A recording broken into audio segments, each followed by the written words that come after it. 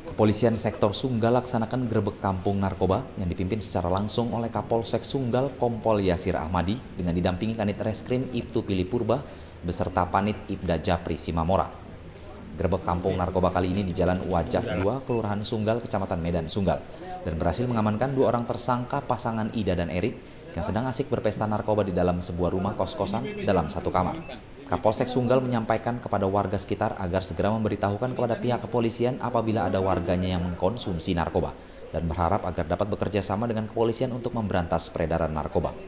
Kedua tersangka langsung diamankan ke Mapolsek Sunggal beserta barang bukti yang didapat berupa satu bal ganja kering, lima paket kecil sabu, satu buah timbangan elektrik, enam bong alat hisap sabu, ratusan mancis kosong, dan puluhan plastik klip kosong yaitu Grebek Kampung Narkoba. Di mana ada indikasi ada indikasi di kampung ini ada beberapa rumah yang terindikasi digunakan sebagai tempat untuk mengkonsumsi mengkonsumsi sabu-sabu atau narkotika jenis sabu dan ganja secara bersama-sama.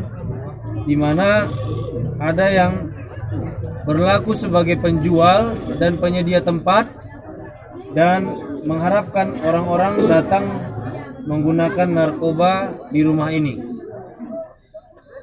Hal itu bisa dibuktikan dari hasil penangkapan kita sore hari ini.